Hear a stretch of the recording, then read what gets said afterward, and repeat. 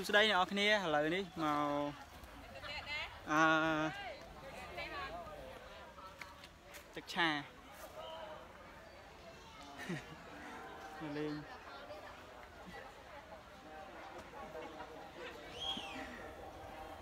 ឡែងប្រាសាទបុរាណគេ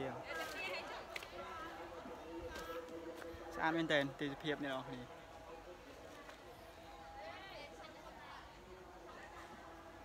នេះនៅវត្តទឹកឆានេះបងប្អូនគ្នា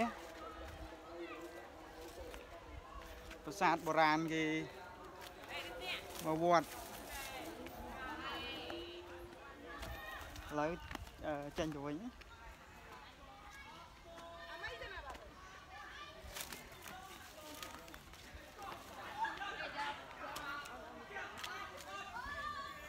ឡូវចេញទៅវិញហើយបាទ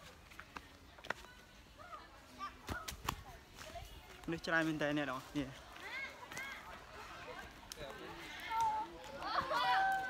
វត្តទឹកឆាស្រុកព្រៃឈរខេត្តកំពង់ចាមស្អាតមែនតើអ្នកនរនេះ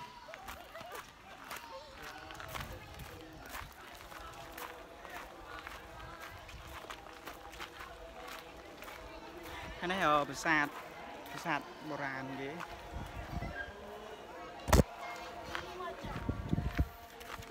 មកចាញ់ពីវត្តច្រើនមែនតើ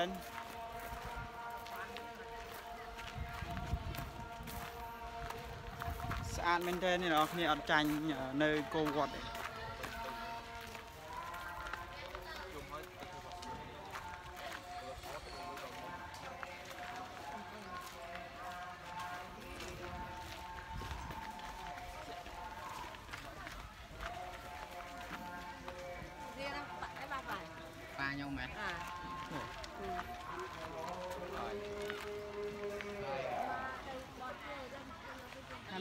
វត្តទឹកឆានេះអរគ្នាកង់ហើយនៅខាងនោះថ្ងៃនេះគឺថ្ងៃ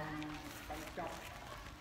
នៃការរបស់ខ្មែរគឺទឹកខ្ញុំបាទជំរុញដល់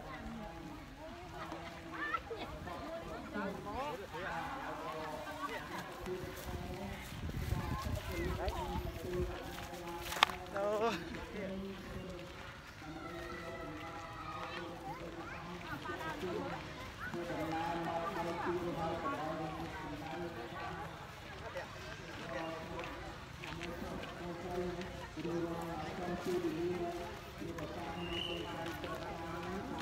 គឺនៅ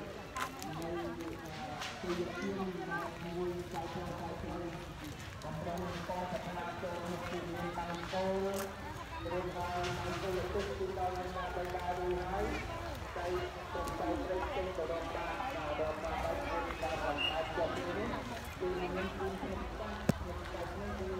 យើងបានលុយទៅដាក់ទៅឲ្យជឿនទួងបងទួងឲ្យបាច់អស់តាមជាតិឆ្នាំចាក់ដល់ឆ្នាំក្តីនេះ ឲ្យមានសេរីជួបក្តីជួបទៅនឹងសេរីសុខសេរីចម្រើនហើយតែក្នុងក្នុង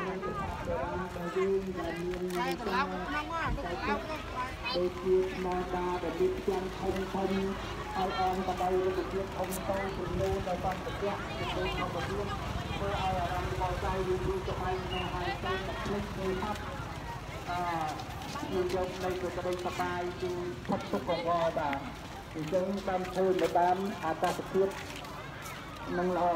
មនុស្សម្នាក់ម្នាក់រស់ឧបាធម្មជាតិជាតិក៏រស់ទៅតាម